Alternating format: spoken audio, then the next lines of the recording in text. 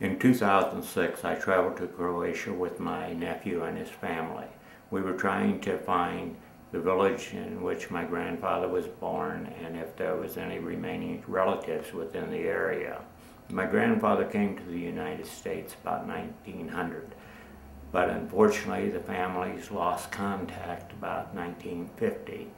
Through the help of my Croatian friends, the Yazvek, especially their daughter Nikolina, and the local couple, Jura and Lusa Kusinic, uh, we not only discovered the village with uh, homes 100 to 200 years old, but also were put in contact with a living cousin I have, Ivan Horvat, who lives in adjoining Slovenia.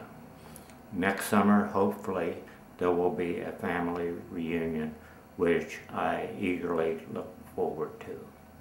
Now, I hope you will please enjoy the photos of the trip and also of the village, birthplace of my grandfather.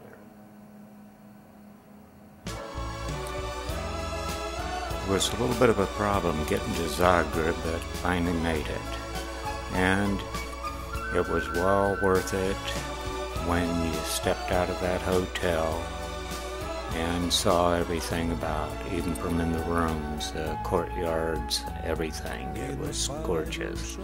Outside front, it was a park where every day uh, something new was going on. Uh, all these activities for kids, for adults, trams, and so forth. This is the uh, main square of Zagreb. Uh, trams come in here, there's events every day, uh, totally populated.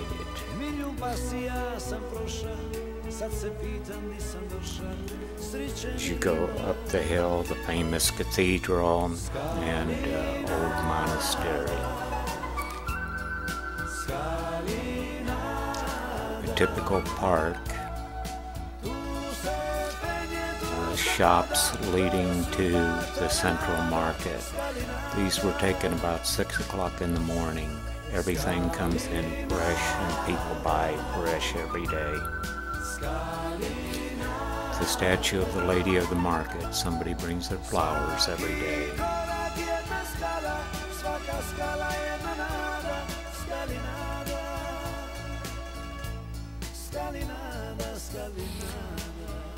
A uh, people city, outdoor cafes, uh, everybody walks, even though cars go down a few places. It's meant for people. Back to the park, and down one side of it is Embassy Road, the Archaeological Museum, the train station. Notice how everything is clean, no trash. It's just gorgeous. This is up in Gornji Grada, the upper town. Every day they shoot a cannon off to remind him of the war. There's two churches up here, a typical street, typical housing, uh, the Prince's Palace, St. Mark's Church,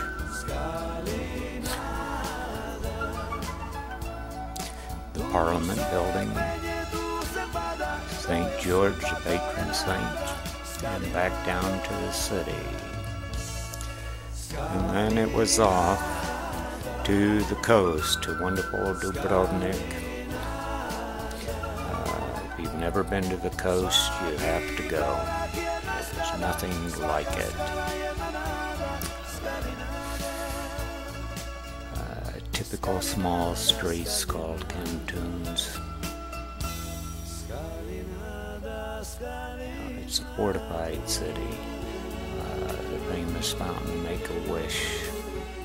And uh, downtown Main Street, Dubrovnik. Everything's like a painting. It's surreal. Uh, it just kind of blows your mind. You have to wink your eyes to uh, see if it's really real. And it is windy. Like I said, it'll take you an hour and a half to walk these walls. Uh, it's something else. the guns that used to protect the city, the spuming ocean, the, the skies. I mean, it's uh, it's just unbelievable. Yeah, look at that.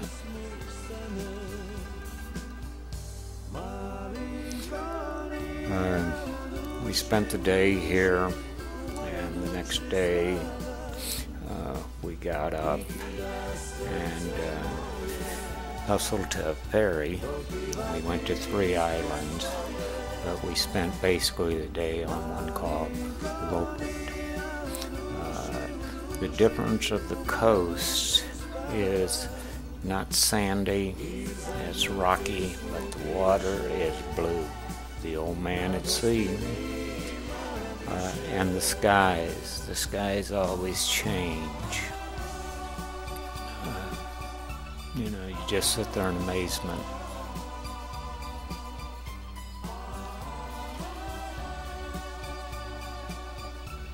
Another thing that, that distinguishes the Croatian coast is that all of the buildings are out of stone. There's no stucco, it's stone. You know, uh, very classical. We hiked over the mountain and to a cove on the other side and uh, swam a little, ate, and relaxed. That's what you do at the coast. And then it was on to Kunich, my grandfather's village. Um, of course, along the way, we have to stop and get a, our bijela kava, and then stepping back in time. Uh, as I said, these buildings go from uh, 70 to 300 years old. At times there was 150 people uh, running around here working like crazy.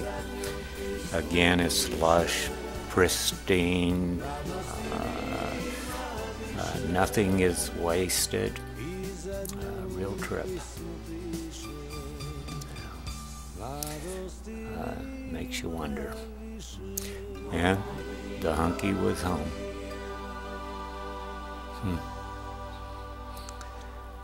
And uh, after you get used to it, you kind of uh, start strutting your stuff a little bit because you say, I'm home. Something else. Can you imagine uh, living like this?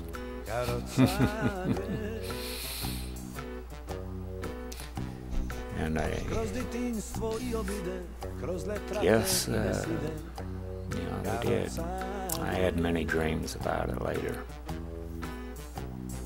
Uh, then we went to Koprivnica, uh, the home of my friend Yazbek.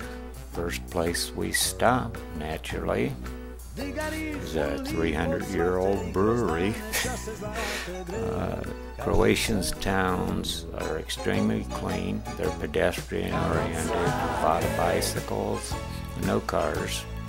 People are friendly, no pharmacy, the sculpture garden in front of the city museum. And then we took a side trip to uh, the Nye Museum. It's in a town where every, not everyone, almost everyone is an artist. They just don't claim they are. Not only do they do carvings, but they do glass paintings and uh, kind of primitive paintings.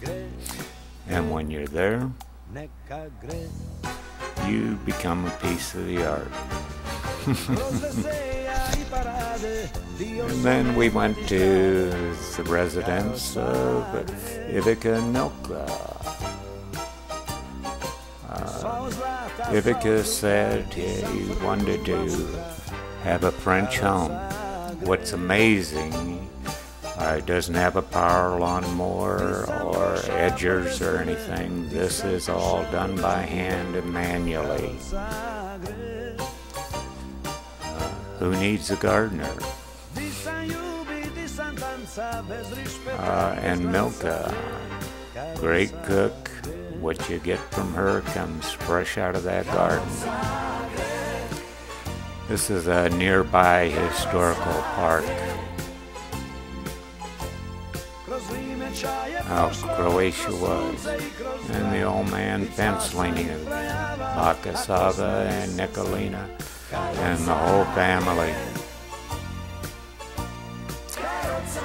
Good things come to an end, so it's back to Zagreb.